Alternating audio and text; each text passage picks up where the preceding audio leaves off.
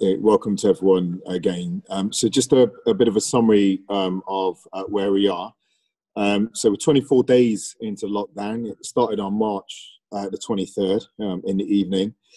As of yesterday at 3:34 p.m., we had 354 confirmed cases, um, and we while we do recognise this does not uh, actually represent the full picture. Um, these are uh, confirmed uh, cases, and, and, we know that there's still um, a challenge around uh, testing. Um, and we also, we also, as a, an authority, are are really looking to take on this challenge of having an accurate understanding of of how many uh, deaths um, uh, that we uh, are resulting directly from uh, coronavirus. Um, obviously, the, the number of deaths um, recorded in hospital is a number uh, that's available, but we, we recognize part of this national challenge of not fully accounting for what's going on um, in the care homes because the testing is not being um, extended uh, there uh, in the way that um, it should. Um, so this is a this is a challenge that uh, we're very keen to get on top of uh, with the data, and we'll be obviously uh, working with our MPs to challenge national government to make sure that they're putting the resources into this.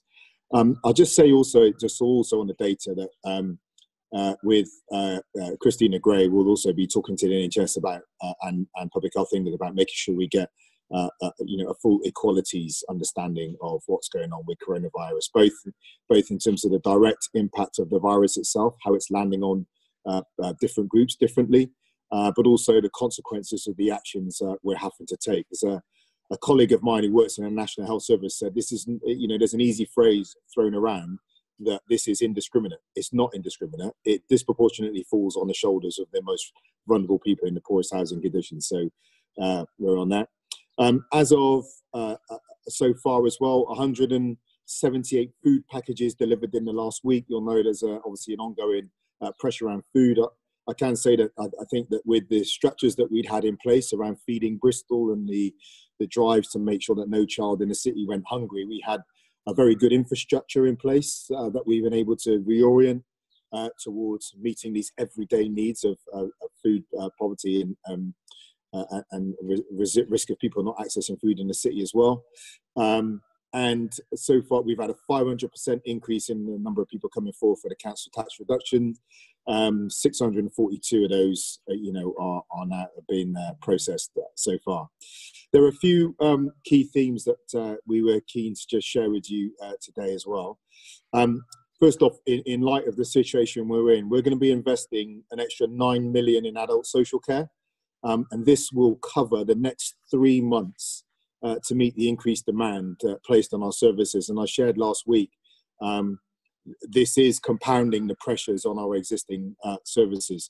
So that will just cover the uh, next three three months, and we're going to use that to be building, obviously, resilience into the care system, um, and to ensure the con- ensure the continuity of care for those already uh, receiving it, but also developing the capacity within our adult uh, social care services for those people that are are going to be having needs that they didn't uh, previously have. We're going to be doing this with the voluntary sector. Um, it's obviously a key uh, part of our service provision in Bristol um, and making sure that all that frontline uh, delivery is maintained. And we're recognizing too that it is not just about the growing need, but it's also the pressure on the workforce and levels of sickness uh, within within our own workforce and, and across the voluntary uh, uh, sector as well. So, um, in partnership with the NHS, the, the, the, funding will be used to help facilitate uh, quicker discharges uh, from hospital uh, within, ideally, within one hour of when someone is medically fit for discharging, so that they can be resettled at home with an, an appropriate care setting. And obviously, this is critical to um, to, to, reducing the pressure on hospital services, which is the overall aim that we're trying to do, making sure that we're not overburdening um, our hospital services. So making sure that we can get people out of hospital. We've got to provide the cover to our frontline staff. Um, as I said, we're going to have to bring in um, agency staff as well uh, because of the increased um, demand and obviously going through a, a, recruitment drive at the moment, uh, particularly bringing people into the adult social care um, sector. We're going to have to work with the independent sector on this as well. Um, and we will be providing £750,000 of extra resources to some of our key organisations to support volunteers uh, to uh, supplement our existing capacity as well. So volunteering is great, but volunteering does have to be managed, and that does uh, take resources to do so. So we're trying to look, you know, across the piece. A couple of other, um, uh, and, you know, items to share with you that uh, the, all the um, the uh, containers at Sandy Park for our temporary pl- place of rest for people who've deceased are now in place. I went up to visit um, yesterday um, I think the team have done a, a, great job. The containers in, the um, the marquees are um, over the tops of the containers with designated areas for putting on a PPE and uh, you know and managing the, the social distancing uh, that will happen. Um, we're at pains to point out it's going to be a place of uh, great respect, uh, and the way people are treated will be no different to the way they'd be treated in a in a standing uh, facility the difference will be about access and public access that they won't be uh, viewing and, and, so forth for the for the public. The communications and contact uh, will be uh, will be by phone. Um, this Friday, um, a multi a multi faith group of multi faith leaders will be on the site, blessing the site. Um, I just want to say to you, if you'd like to go up there with them as well, reach out to Sophie and the team, and um, they can facilitate that. Um, as I said, it's, it's, it's, just to make sure that as much of the way we are working with the city is uh, is is up to the standards that uh, people would uh, respect, and and this is. Uh, this is one of the interventions uh, that we're, we're making there, and and just to let you know, our humanist representatives is also being invited to that time if they would uh, like to attend. Um, I stress at the beginning of this week um, domestic violence. Um, this is something that we are really going to be majoring on. Um, uh, we just want to stress time and time again for people in households where there is domestic violence and abuse going on that the the, uh, the, the, the physical distancing and the lockdown does not mean that you cannot leave the house and seek uh, uh and, and, contact us and our services and seek a place of safety. Uh, we want uh, people and their children seeking that safety to know that we are here and they should still be reaching out to us. And again, we are stressing that there is an emergency number. If people are subject to, to, to violence, they can call 999. And if they can't speak, they merely have to press 55 uh, and it will be picked up as a domestic uh, violence issue. Um, I, will just share, you know, I, I, we had a conference call yesterday with um, uh, with 12 or so um, education leaders from the city, from our schools, and this was one of the issues that, again, we're all exercised about because so much reporting is actually done by children to teachers when adults aren't there. So you can imagine the impact being in a confined space uh, will be having on our ability to identify cases going on. So this is a concern for all of us. Um, we are also uh, really uh, stressing the importance of the work we're doing on economic recovery uh, right now. Um, one is we're looking at our existing um, regeneration programs that are going to be a huge, both symbol and driver of investment and confidence in our economy. Uh, Temple Meads, obviously the arena we shared with you, uh, uh, you know, last week Western Harbour, you know, and so forth. But we are with the economy board. The piece of research we're undertaking right now around the different sectors within our economy are also going to be used as the basis for shaping the direction we and other local authorities and our partners across Western Gateway, for example, give to government on how they need to work with us to get the economy moving again. I mean, we've had some frightening numbers shared in the last uh, day about the, the, you know 34% contraction in the national economy. This is going to be uh, have a huge impact on our future. It doesn't need explaining to you, not just economically, but in terms of population health as well. Um, so it's very important that we are very proactive, and I and I think that those cities and places that are best prepared uh, with the most uh, coherent and evidence-based um, uh, plan for getting their economies moving again will be best placed to receive the uh, uh, government and private sector investment that, that will be moving um, in the future. And finally, just to, on this message, it's a real thanks to Bristol. Um, there's been a really uh, a good standard of cooperation with the guidance on physical distancing um, in Bristol. Our parks have not been inundated and people um, have been um, staying at home. So uh, we want to extend our thanks to the um, city for that. Um, but we still do want to keep that message going uh, and just encourage people uh, to stay in that. There's things that people can still do, like not using park benches, uh, not meeting friends at all, uh, not picnicking and going out and sunbathing. Uh, we just need to keep those uh, messages out there. And we are encouraging people if you have a good garden at home, even stay in the garden and, and have the parks uh, freed up for um, other people in the city. Um, so we do have uh, over 10,000 homes in high and low rise blocks who do not access, have access to a personal garden. So trying to keep the, the public spaces um, open up uh, for them. So there's a little bit, uh, uh, you know, about um, some of the highlights uh, for us at the moment, but I'm happy to take any questions uh, from there. That's lovely. Thanks very much, Marvin. And just to remind people, of course, that this is all em- embargoed until 5 p.m. today. Uh, has anyone got any questions? I have one. I don't know if you want to hear from me. Yes, go ahead, Rich. Okay. It was just um, how progress is going on housing temporarily the homeless in the city. I know there was a, a call for 450 beds. Do we know what number are being uh, housed and how, how that's gone? I know there's a in a few hundreds, but I don't know if that's been uh, increased. We were at, we were around 250. Um, I think with uh, around I'm going to check the exact numbers, but 100 and 236 uh, accommodations. So I've just come off a call with Keir, um, a, a, call with Keir Starmer and um, leaders from across the country as well, actually. And this issue was, was brought up by a number of those other leaders, including the leader of Brighton, which is another city that you know draws in a lot of uh, rough sleeping. Uh, we need government action on this so that the negotiations to get those hotels to free up rooms are not just down to the local authorities um, going city by city, but when, when the negotiations are happening at a national level with chains. So with those single negotiations, we can free up, you know, hundreds, thousands of rooms in one negotiation rather than, uh, you know, it depending on the capacity mm. of the mm. local authority to enter into those. So I, I, think there's been a there's been a good response in Bristol, but we do need more national help um, on this. Okay, so so we two three six is the best number we've got at the moment of that four fifty call. Yeah. We're a couple hundred short, but you think say a, a big hotel chain could solve that almost overnight?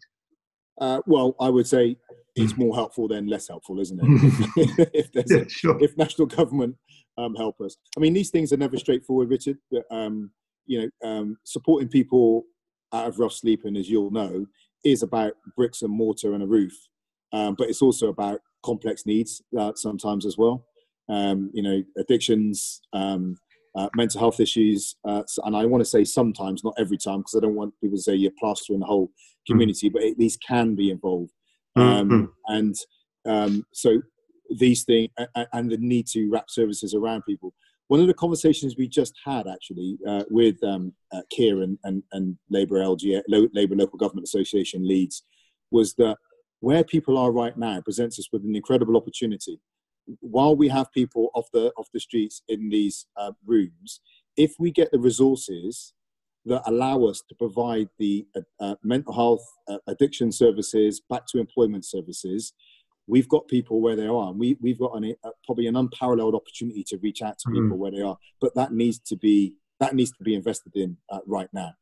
Um, we also raised the issue of of the, the, the term exit strategy is coming up a lot over the last few days. Um, we've had to react because we've had to react but we need so we need that's tied in with that previous point. We need a conversation with government about what is the exit strategy from this. So it came up in last week's conversation. We don't just want to say right time's up now you're back out on the street. Right what mm. can we put in place uh, that allows a structured departure uh, from uh, the hotels? Just like we would want a structured exit for people leaving um, incarceration, for you know example. The, the, more structured we can do, the more hope there is um, in those people's lives. Yeah, yeah, it does strike you, doesn't it? If people are off the streets in such numbers now, it kind of begs the question: Why can't it be always like this? I suppose you know people probably think, "Well, hang on, we're solving well, a big well, problem." Well, the simple answer is because they're in hotels. They're in private mm. hotels. So those hotels yeah. aren't places of refuge in normal this because they're em- empty. Um, but that feeds into the wider need of the need to build genuinely affordable housing, uh, you know, social housing for people.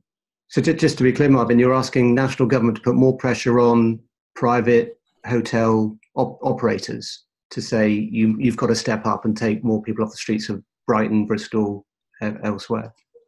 I'm asking them to enter into the negotiation.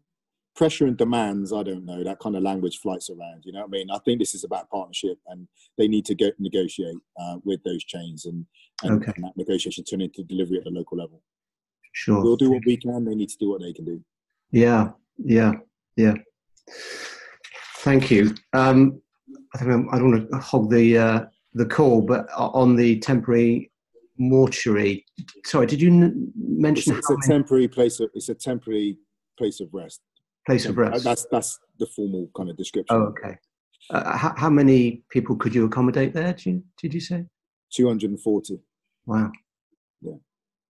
And that might be operational. Do you have a, a, an idea of timescale on that? You know, if it, it, it it just depends on it just depends on the capacity you know our existing capacity and when that existing capacity is um you know is is reached and reached, we yeah. have to call on this but it's important to say that that that is its general capacity it is not it is not uh, a place simply for covid uh, for coronavirus okay. victims it is part of our general capacity um, that we'll be using Yeah, there was a strong piece last night, wasn't it, on Birmingham? I don't know if you caught that. ITV News did a piece last night in Birmingham saying they're just filling up fast. yeah and a, number of cities are reporting um, Mm. Uh, the, the challenges um, that they're facing in this area. Okay, Thank you. thanks very much, Rich. Um, questions from anyone else? I see Pete's hand up. Hello, hi Marvin. Can you hear me? Okay. Hi, Pete. Yeah, I got you. Uh, just I- I'll just run through them quickly if that's all right. Then just just to pick you up on that point um, about the temporary place of rest, because at the back of my head, it, the press release said it was for COVID nineteen victims. So you're saying it's for it's for people who have passed away for for other reasons as well. Yeah, to me, this is yeah, it's general capacity. Yeah. Right.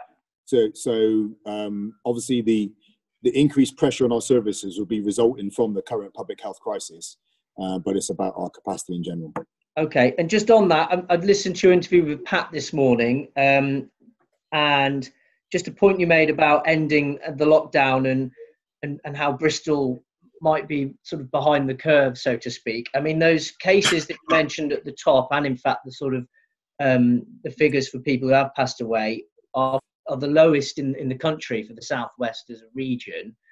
Um, and anecdotally, sort of we're hearing, and, and this isn't from you know people who don't know what they're talking about, anecdotally from people in the medical profession, is that Bristol is behind the curve and they're expecting a peak sort of in in the midsummer. Is that the kind of timescale that you're working towards at the moment, and that, and that Bristol is lagging? Yeah, but lagging sounds negative. In this instance, lagging's good because our numbers are not picking up as quickly. Um, so, so it is at the moment. But what I, what I would say is it was actually a, a point raised by one of the head teachers yesterday um, in the call, who's a bit of a statistician. Um, and if you know, in London, London, for example, will be a different point in the curve, right? It- it- it- so if if a national decision is made about relaxing the restrictions based on where one city is, Mm. but we are at a different point in that curve. Obviously, the implications of that relaxation will be different for us, and it could be bad for us. So, one of the judgment calls that's going to have to be made is: um, Are the relaxations done nationally? Is it a national decision? Um, is it is it city or city region by city region, or is it or do they do it by sector? So, I mean, you could say a particular economic sector we're going to release um, and that goes goes nationally. So that's one of the judgments that we're going to have to follow the expertise, the public health experts, and so forth uh, to uh, to do. What we wouldn't want is a decision based, you know, a decision that fits the positioning of another city that then kicks off a you know an increase in in, in, in of, of coronavirus spreading um, in Bristol. Okay. All right, thanks. A couple more things very quickly. 500% increase in council tax reduction scheme. Are you able to tell me to, to what, as in like total number of I'll, applications? I'll I'll get the total number for you on that. Okay, yeah, Yeah. That, would be very helpful. Thank you. And just finally, this nine million pounds for adult social care. I mean, it's my understanding the government are going to make a their own announcement on um, extra funding for adult social care. Is this nine million pounds different to what the government are going to announce later today? This is out of the 13 million pound they'd already allocated to us, uh, uh, which you can see that they've given us some money to cope with the challenges of coronavirus. and a huge swathe of that is already being consumed by the pressures on adult social care. They may make another announcement later today. I'm not. I, am You know, I, I am presuming it, it will be different to that, but otherwise they'd be giving the money uh, twice. This this is a challenge, Pete. I would say actually about um, working with government. I mean, I mean, that too often as local authorities we get the news the same time as you do, and when the briefings go public, and then people come to us and say, well they've announced this, they've announced that. What does that mean? And we're trying to work it out um, as well. Um, big part of the conversation uh, with local leaders from across the country this morning was about resetting this relationship with national government, where they have to see us not just as uh, delivery arms of national policy, but as partners in shaping the response because we know what's going on at the local level. Um, even even even in the def- definition of vulnerable people, it's not just vulnerable in the sense of health vulnerable through National Health Service statistics, but people vulnerable through issues such as food poverty and domestic violence as well. So we know, you know, we have a different perception. We can bring something rich to this picture. So, so I went off on a bit of a side. no, no, that's that, okay. that frustration with government yeah, yeah, sure. without without properly yes consulting with us as local authority leaders. Gladly accept some extra funding were it to be announced today. Oh, we gladly accept extra funding, but what we need is them to work with us as to how to apply that funding. If you come up with a with a collection of uh, Whitehall uh, developed restrictions on that funding that are not necessarily appropriate to what we're saying is needed, um, then that that can cause its own uh, cause its own issues as well. All right, thank you. Any further questions? I, yeah, I have one. Hi. Hi, Um, where are we in terms of testing at the moment? Because um, as you know, I spoke to um, Christina at length the other day, um, and she was saying that by the end of this week, um, there should be testing for key workers. Um, where are we? Is that in addition to Ashton Gate? Where is that going to be? How many tests are we now? How many are we looking at? Well, that that obviously what happens with testing is is the, is really dependent on what's brought in by uh, national government. So uh, that's where I have to you know follow Christina's lead as, a, as a, one of our key uh, leads on that. Uh, you know, our position is that we want certainly for our key workers, we and, and we want as much testing as possible, and uh, we want that testing uh, rolled out into our care homes as well for residents, so we have a full and an accurate picture of the uh, prevalence of coronavirus and an accurate picture of the number of deaths uh, resulting from coronavirus. It's not. It's just not okay at the moment that we are in a position um, as a local authority, let alone as a national government, where we do not have an accurate picture of, of how this uh, virus is landing on our population. Okay. So at the moment, Marvin, following up on that, we just don't know how many people in, in local authority care homes in Bristol have, have died of COVID. Well, without without the testing, mm. by definition, we don't.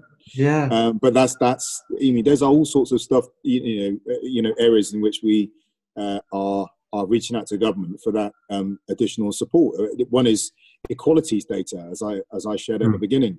Um, this we have to make sure that across the National Health Service um, and uh, with government, we're having a full and accurate picture of how coronavirus and the consequences of the actions we are taking around coronavirus are landing on different people's groups um, and housing accommodation, for example, on, on our tower blocks and so forth. We need we need proper data on that because at the local level we work with real people in real communities and we have to rebuild afterwards. Um, so these are all areas in which we are working with our MPs to really pressure government to, to get the machinery in place. But one of the big challenges, we come off the, be frank about it, we're coming off the back of 10 years of underinvestment in local government. And now we're asking local government from that 10 years of underinvestment to take on and, and to be at the local forefront of taking on the biggest public health challenge in, in, in a century. Uh, it, it, brings with it challenges. So, so we're stepping up, but we need national government to step up too. Hmm. Could I, could I just ask uh, on, on that line, um, Marvin, what you said about, um, and you're obviously right, that it's, it's, it's, uh, it's not indiscriminate, it does discriminate. Um, and you're calling for more data on that. What picture are you getting until you get that data? What picture are you getting in different parts of the city and the way um, it's affecting different uh, poorer sections of society? Well, I, I, I think, um, you know, my, my sense is, uh, you know, at the moment and looking at what's coming in, that we, we would know we would know that it, it, would be having a disproportionate impact on those people in more crowded accommodations because they'll just be more at risk. It's a difficult one to answer, um, Adam, because we again because you know like uh, well disciplined data around this is not necessarily coming in, uh, but we've all been in the city long enough, you know, to to have a sense of how these things um, how these things ha- uh, uh play themselves out. Um, so we, we, you know, right from the start, we we made efforts to uh, make sure, for example, our, our earliest um, videos on uh, social distancing and safety and volunteering, we put those out in multiple languages right from the start. You know, um, we we've made particular efforts to work with our voluntary community sector, uh, Sandra Meadows at Voscur, is that all the key all the key tables um, that we run and, and, and, helping us reach out for that network of voluntary community sector organizations. As I come off the back of this, we've got a city leaders call that we do every week now. And, and again, the voluntary community sectors there. Our community development team have been pulled into the heart of what we do, both through Can Do Bristol, but also in shaping our the, the, the developing network of community voluntary sector organizations that we've set up because we recognize that's a way of reaching communities um, in ways that sometimes our, our big public services cannot or will not. Um, so we, are recognizing the additional risks uh, to the most vulnerable people all the time. Great, thanks. Can I quickly pick up on that one as well, Marvin? Um, yeah, please. Just, just, to ask, you, you mentioned that Christina Gray will be working with with national um, government and the NHS. Is this data that will be collated locally? Like, are we going to sort of get a full city picture of how it's impacting people? But that's that's what I, hope. So uh, the conversations I had with Christina about um, reaching out to Public Health England and National Health uh, uh, National Health Service England uh, to give us the data of such quality that, that we can then pick out particular, uh, you know, Bristol. That you know there is a you know, it could be grouped southwest and then BNSSG area, you know, the Bristol North Somerset and um, uh, you know and South Glos health area. But we we really want to be able to pull out good data for Bristol. Um, and that's you know that's that again that's the conversation that we are uh, having. Okay thank you. Can i also just pick up on pete's point um, about the when lockdown measures might be lapsed? Are you saying then that bristol could end up be sort of still with the measures in place when other cities are going to have them be back in operation? Um, is that what, sort of where where the advice goes? Well if the if whatever the advice is, is the advice, and we do we'd be wise to follow the advice of, uh, of people. Um, now, I, what I was what I was saying is, we don't yet know what the exit strategy is, um, and I and, in one sense, there's an understanding. This is the first time we've faced anything uh, like this, uh, locally, nationally, internationally.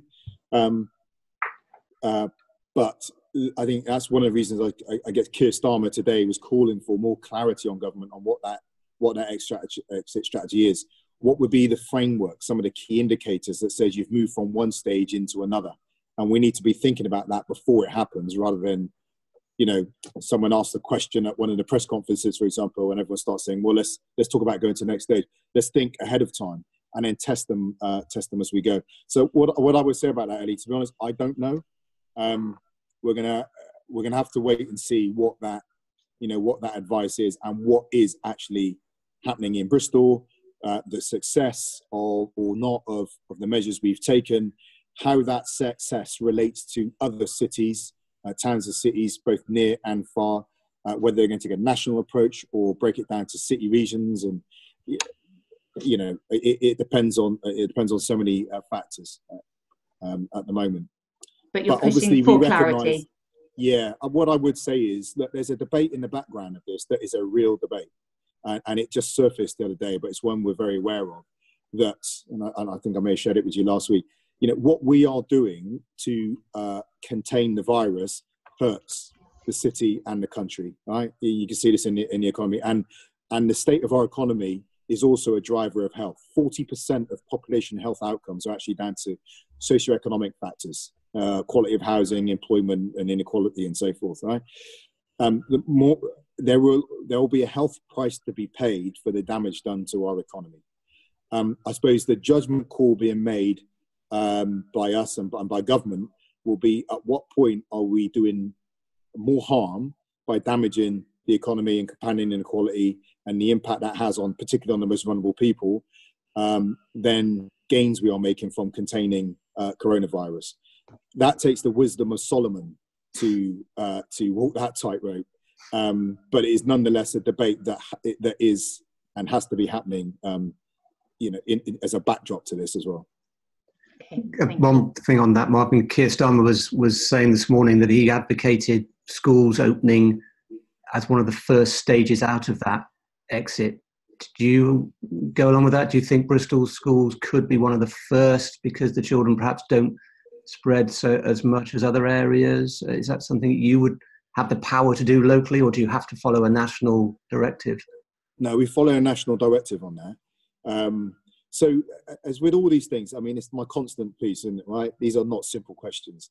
So, again, talking to the talking to the schools uh, yesterday, um, the concern is if you take the children back into a concentrated environment, you could end up with a, another kind of explosion of spread. And even if people don't have the symptoms, they can still become spreaders of the virus, and, and, and you you release it kind of back into the uh, back into the city.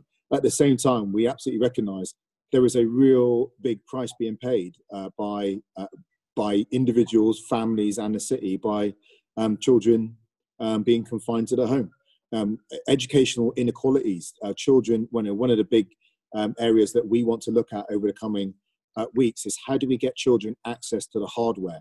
Not every kid has access to internet, and all the lessons are being shared out for the internet. So educational inequalities will be compounded. Family stresses, um, children who are losing uh, family members and then grieving in isolation in the home with a stressed family, not having uh, direct access to the um, support services, the pastoral services that schools provide. And, and I, just bearing in mind, it just really goes to show the point that schools are a place of education, but they are so much more um, in their role in our, our societies as well. Um, so ideally, it would be fantastic to get children back into school. But again, it, it, there will be so many factors um, that will need to be looked at before a decision is like like that is made. And I know the schools um, are are themselves need to be involved in that in that decision and are looking at this very carefully. It's a real live it was a real live discussion for us yesterday.